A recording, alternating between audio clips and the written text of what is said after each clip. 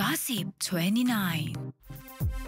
Gossip 29 รายการที่จะโฟกัสเจาะลึกรู้จริงทุกเรื่องราวในวงการบันเทิง ฟินไม่ถึงฝั่งรวมพระนางคู่จิ้นที่ดับฝันติ่งกลางอากาศ พร้อมล้วงหัวใจซุปตาว่าพวกเขาแอบปลื้มดาราคนไหนไปกัสสิบกันเลย Gossip 29. จากที่เคยจิ้นฟินกระจาย แต่เหตุไฉนคู่จิ้นเหล่านี้ กลับมาหักมุมดับฝันติ่งกลางอากาศ มาเริ่มกันที่คู่สีฟินสุดฮาบอยปกรณ์และมาร์กี้ราศีเคมีดูยังไงก็เข้ากันสุดๆ แต่จิ้นอยู่ดีๆ ฝ่ายหญิงก็ดับฝันติ่งไปแต่งงานซะอย่างนั้นปะท้อติ่งเซ็งค่ะ Oh my gosh. มาต่อกันที่คู่จิ้นฟินระเบิด อินดี้อินทัชกับวาวานิชารี เปิดตัวด้วยเสียงเชียร์จากแฟนคลับกระหึ่ม แต่สุดท้ายเส้นทางคู่จิ้นกลับหักมุม เมื่อโป๊ะแตกว่าเป็นแผนโปรโมทละครเท่านั้น มาถึงคู่ที่ทำเอาติ่งเพลียไปตามๆกันลุ้นตัวโก่งว่าจอยริลานีและอเล็กซ์ธีรเดชจะ spark รักต่างวัยไกลแค่ไหน สุดท้ายติ่งบ้านธีรณีก็อกหักไปตามระเบียบค่ะ What?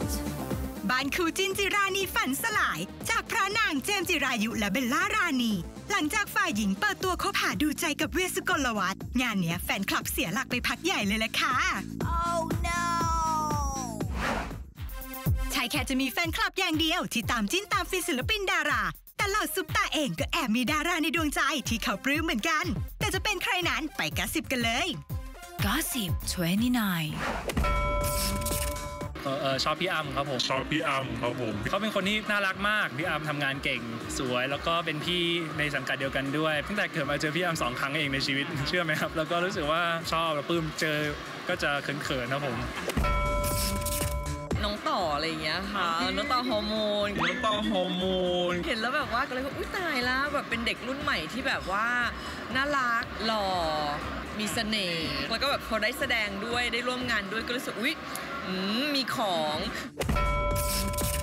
กันน้องใหม่แล้วกันครับ น้องใหม่แล้วกันครับ ปกติเราไปเล่นกับใครอะเขาไม่มีใครถามบ๊อบเลยว่าแบบเป็นยังไงทำเพลงเหนื่อยไหมแบบวันหนึงมากองละครอะไรเงี้ยน้องก็ถามพี่กอฟเป็นไงบ้างทำเพลงแบบเหนื่อยไหมทำถึงดึกเลยอะไรเงี้ยเออแล้วก็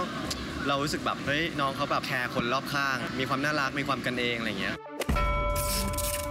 พี่โอค่ะ พี่โอค่ะ ในวัยเด็กอะเราก็จะแบบอ่ารักแข่นสยามอย่างเงี้ยจะเห็นว่าเฮ้ยพี่โอน่ารักมากเลยยิ่งเขาแบบตอนเนี้ยเขามีวีล็อกมีอะไรของเขาอะอ่าเขาดูมีมุมแบบโกโก้ตลกตลกๆที่แบบเราชอบผู้ชายตลกอะแล้วรู้สึกว่าเออดีอะ ยุนอาครับยืนอาครับ ไม่รู้เขาสวยน่ารักไปหมดเลย เต้นเก่งร้องเพลงได้ แสดงก็ได้ครับผมทำเป็นซะทุกอย่างครับ รักคุณนะครับ แต่งงานกับผมที แต่งงานกับผมที คุณโอ๊ตปราโมดค่ะ โอ๊ตปราโมดค่ะ คือเวลาเรากลับมาจากทำงานเดือยๆ เราจะเปิดดูรายการเขาอะไรเงี้ยมันเป็นกำลังใจแล้วก็จะเพิ่งรู้ว่าเออเขา ทำให้คนหัวเราะได้มากขนาดนี้อะไรเงี้ยแต่พี่โอ๊ตตัวจริงจะบอกว่าสุภาพมากนะ คนชอบถามว่าแกแบบทะลึ่งลามกเครื่องแกก็ทะลึ่งแหละ แต่ว่าจริง ๆ แล้วคือแกเป็นคนมีมุมอ่อนโยนเยอะเอาเป็นเบลแล้วกันเอาเป็นเบลแล้วกันเขาทำงานเก่งแล้วก็เป็นน้องที่แบบน่ารักทำงานด้วยกันแล้วรู้สึกว่าเฮ้ยแฮปปี้นะเบลก็เป็นคนล่าเริงอะยิ้มตลอดเวลาอย่างเงี้ยเราก็เลยรู้สึกว่าเออปลื้มผู้หญิงลักษณะแบบนี้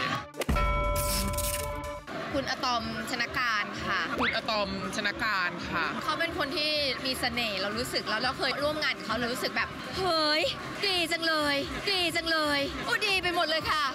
ก็เลยแบบหนึ่งฉันว่าคนนี้ดี ถ้าสูงอีกหน่อยคือดีมากเลย ถ้าสูงอีกหน่อยคือดีมากเลยก ลับมาติดตามรายการ Gossip 29 ทุกวันเสาร์อาทิตย์เวลาดีๆ แบบนี้ทางช่อง Mono 29 หรือดาวน์โหลดแอปพลิเคชัน Mono 29 ได้ทางระบบ iOS และ Android สามารถดูรายการย้อนหลังได้ที่ c m e m e Channel Gossip Star Gossip 29.